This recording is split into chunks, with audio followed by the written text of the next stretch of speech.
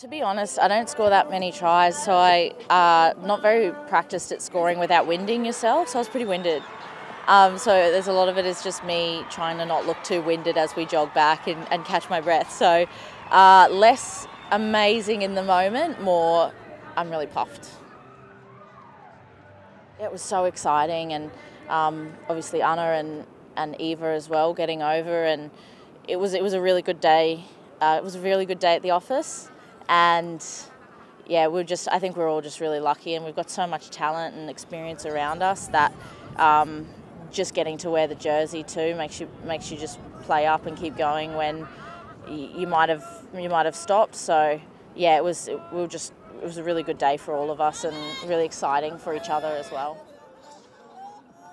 Uh, it was unreal. Once I got over the line, I actually couldn't believe it. That's why I had my um, heads in my hair uh, my head in my hand because I didn't actually believe that I went over the line. Uh, it was quite an emotional experience for me because uh, I, I, felt the passion from all the girls when, once I was over. Then that that's what really got me is that everyone was behind me and I felt I felt all of that.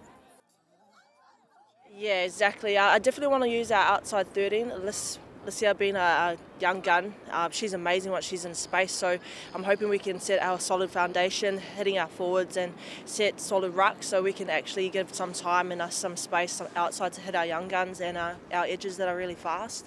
So hopefully that's where we'll go in the direction this, this weekend coming.